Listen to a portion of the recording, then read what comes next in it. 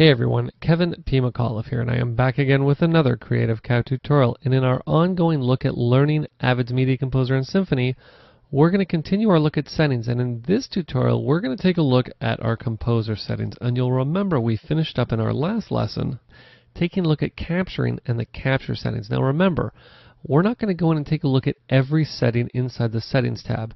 We just want to take a look at the settings that are important to get you up and running as quickly as possible. Okay, not a long introduction. Let's just get into Symphony and let's get started. Okay, so let's Alt Tab into Symphony. Now that's obviously a Command tab for all of my Mac friends out there. And you'll see we are now in Symphony.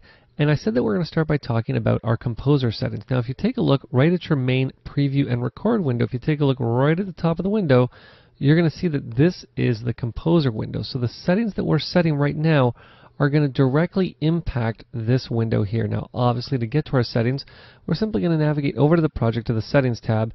You'll remember that we ended off with capture and we're going to come right down to composer.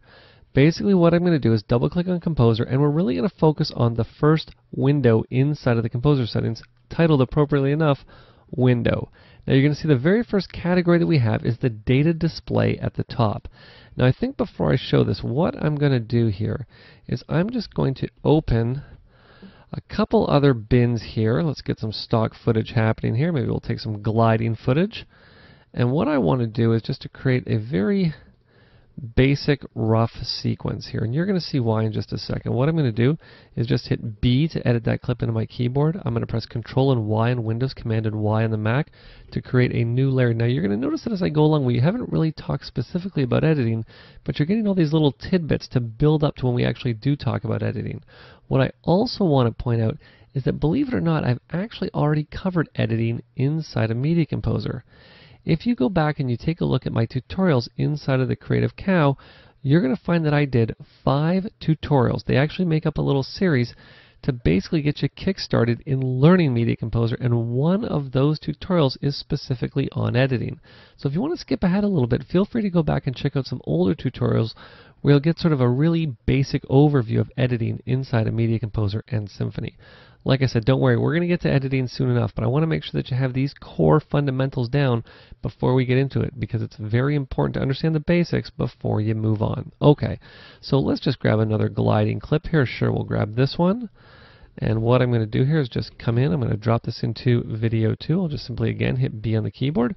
It doesn't really matter what I have selected here or what uh, what area of the timeline that I'm editing these into. I'll just create a new layer again, Control and Y on Windows, Command and Y on the Mac.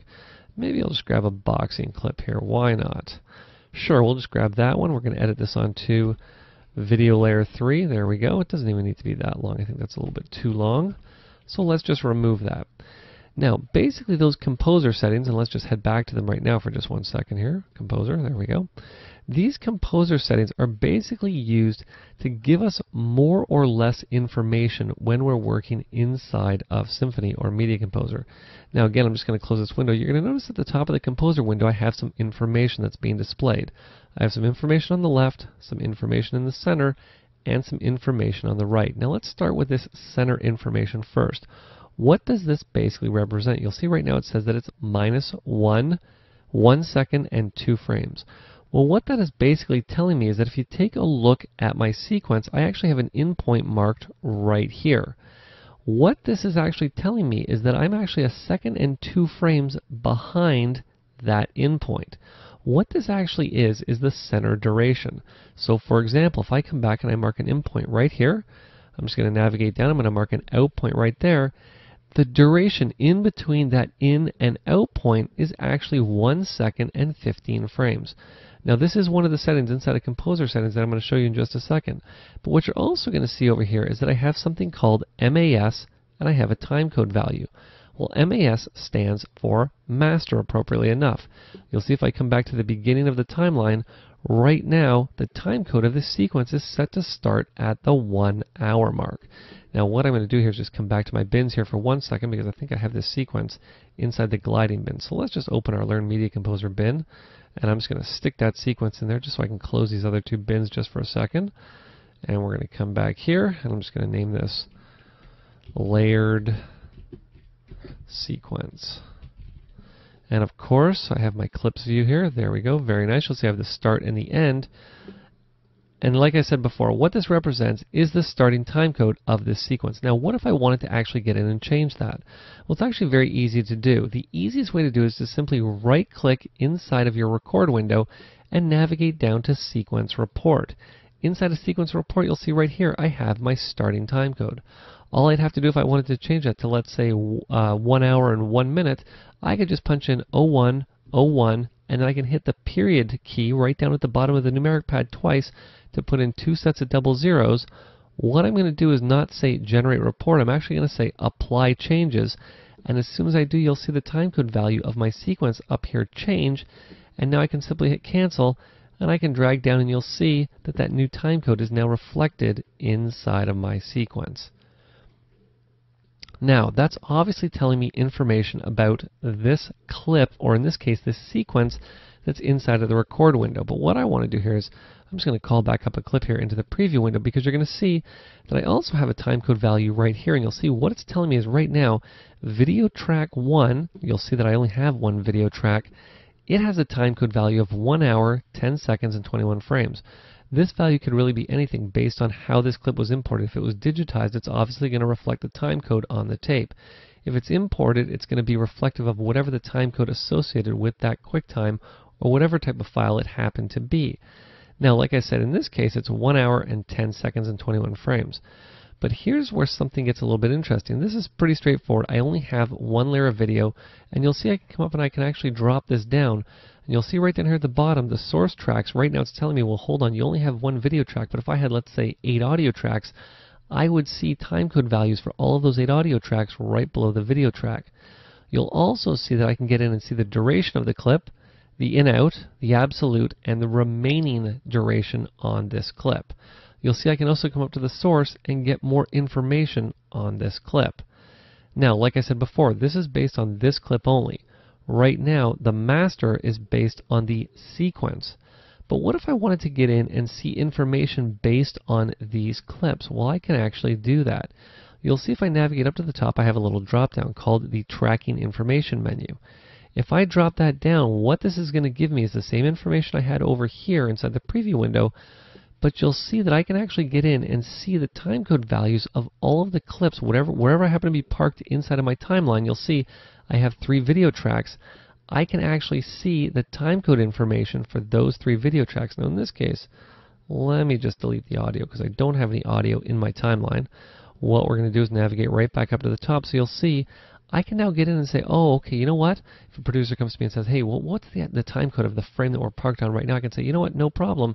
It's, you know, it's one hour, four seconds, and 24 frames. This is a great way to get in and get a lot of information about whatever the clips happen to be where you're parked in your timeline. Now, let's jump back for a second. We were talking about our composer settings. So let's go back into the composer settings because you're going to see how all this ties together right now. I'm going to come back to the settings. I'm going to come down to composer. You'll remember the very first thing we talked about was the center duration. Well, guess what? There's the option for center duration right there. If I turn that off and say OK, the center duration disappears. But you know what? I like having the center duration. More information is always a good thing. You'll see we have all these little tick bars inside of each one of the playback regions in our preview and in our record window. I can come in and I can turn those off. So you'll see we don't have those anymore. Personally, I actually like them. What I'm going to do is just turn that back on and what we were just talking about was the information at the top of the preview and of the record window. And you'll see right here, the data display at the top can be off, not give us any information, have one row of data, have two rows of data, or flow dynamically. Now, which one do you want to choose? Well, for me personally, I normally like to display two rows of data. I'm going to say OK because you'll see right now both of these are set to the master timecode. Well, normally for me, I don't normally have video clips on different tracks unless they're actually effects. So what I normally like to do is I like to say, okay, you know what, show me the master timecode and show me the timecode of the clip that's on video track 1. So for example, let's just take this here, drag it down like such. We'll take this clip here, drag it down like such, just so we have a little edit going on. Because now if I'm going through and the producer says, you know what, hold on, stop, that shot right there, what's the timecode of that shot? I can come up and it will tell me right here immediately. I don't need to go looking for it or anything like that. You can see how having the two rows of information is hugely beneficial. Now you'll remember if I come back over to my composer settings that I did have one more option under data display at top and that was to flow the data dynamically. Now what exactly does that mean? Well, let's say you have, you know, I have one monitor now, but you might have two monitors. You may want to adjust the size of your composer window. Basically, by adjusting the size of your composer window, what's going to happen is, is that the data at the top is going to either show you more or less depending on the size of your displays or your monitors here, your composer window. So keep that in mind. Now for me, normally how I like to work, like I said, I always like to have the two rows of data displayed at all times. For me, it's just how I prefer to work because I've pretty much always worked like that. It's something that I highly recommend you get into the habit of doing just because it's going to give you the most amount of information you could possibly need at one time. Now, next right below that we have the button displays at the bottom. Now what does that mean? Well, you'll see right now I have two rows of buttons. Now, for me, normally because I work with my left hand on the keyboard, my right hand on the mouse, I normally will only ever use one row of buttons. So what I'm going to do is simply select one row of buttons, and I'm simply going to say OK. You'll see I now have just one row of buttons ready to work with if I need to. It's very rare that you see me go up and actually click on these buttons, like I said, because most of the work I do I'm going to do with my left hand on the keyboard. So if you have any questions, you have any comments, you have any tutorial requests, you can send them to Kevin P. McAuliffe at gmail.com. This has been Kevin P. McAuliffe. Thanks a lot for watching.